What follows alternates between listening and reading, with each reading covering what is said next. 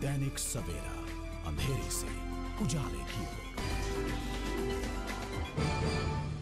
British Olivia school में करवाए गए सहोदया इंटर स्कूल ताइकवांडो प्रतियोगिता में शिव ज्योति पब्लिक स्कूल के विद्यार्थियों ने धाक जमाई है।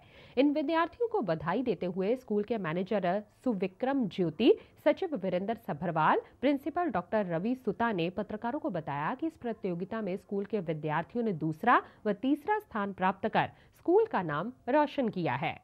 ਦੇ ਵਿੱਚ ਸਹੋਦਿਆ ਕੰਪਲੈਕਸ ਦਾ ਕੰਪੀਟੀਸ਼ਨ ਜਿਹੜਾ ਹੋਇਆ ਸੀ ਜਲੰਧਰ ਦੇ ਕਰੀਬ 40 ਸਕੂਲਾਂ ਦੇ ਵਿੱਚ, ਉਹਦੇ ਵਿੱਚ ਸਾਡੇ ਬੱਚੇ ਟਾਈਕਾਂਡੂ ਕੰਪੀਟੀਸ਼ਨ ਦੇ ਵਿੱਚ ਪ੍ਰਾਈਜ਼ਸ ਲੈ ਕੇ ਆਏ ਮੈਡਲ ਜਿੱਤ ਕੇ ਆਏ ਜਿਹਨਾਂ ਵਿੱਚ 4 골ਡ 3 ਸਿਲਵਰ ਔਰ 5 ਬ੍ਰੋਂਜ ਮੈਡਲ ਸੀਗੇ। ਔਰ ਓਵਰਆਲ ਬੱਚਿਆਂ ਦੀ ਜਿਹੜੀ ਮੁੰਡਿਆਂ ਦੀ ਟੀਮ ਸਾਡੀ ਸੈਕੰਡ ਆਈ ਔਰ ਓਵਰਆਲ ਕੁੜੀਆਂ ਦੀ ਟੀਮ ਸਾਡੀ ਥਰਡ ਆਈ ਸਾਰੇ ਸਾਊਥ ਕੰਪਲੈਕਸ ਦੇ ਕੰਪੀਟੀਸ਼ਨ ਦੇ ਵਿੱਚ।